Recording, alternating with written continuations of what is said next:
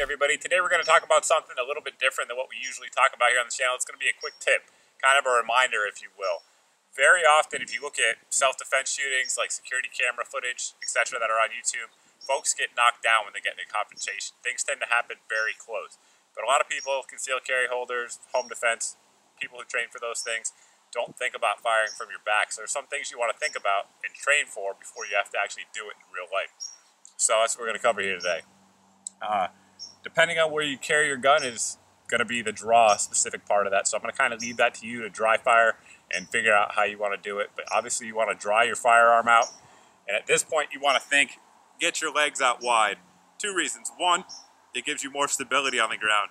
Two, you're going to be firing and you don't want, as you're firing, your feet to be in close. You want them to be apart to give yourself wide field of view and minimize that chance that you're going to flag yourself. So once you have your feet out wide, there's kind of two schools of thought on how you do this. Some people say, and depending on your body shape, that you want to kind of brace your hand on your hips or your legs or your stomach and fire to give yourself a stable platform. The other school of thought is you want to sort of extend, press, touch, just like you would if you were standing. So whatever school you think works for you, school of thought works for you, go with it and practice it. Either one will work.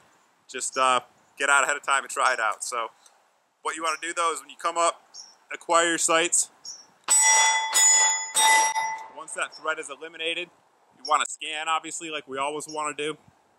At this point though, you want to think of how to get up because you don't want to stay on your back any longer than you have to. So generally speaking, you want to keep both hands on the weapon if at all possible. So you want to bring your leg in, keeping both hands on the pot, on the weapon oriented at the threat because you never know when people are going to come back and start firing. Just because you shot them center mass doesn't mean they're done. So you want to bring your leg in, either one, and stand up, roll forward towards the threat. Now, that's the general principle of it. Obviously, you're going to need some things to do this. You're going to need a range or a location that you can do this. I'm lucky enough to be able to have this field that I can do that. Um, you, so if you don't have that, dry fire at home. It's better than nothing for sure. So you want to make sure you do that. You want to make sure you have targets that are relatively low because you don't want to be firing high up over a berm or if your stray rounds go out really far.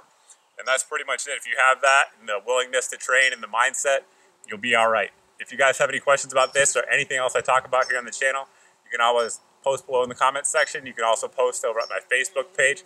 But as always, guys, thanks for watching. Thanks for subscribing. And I hope to see you in the next video.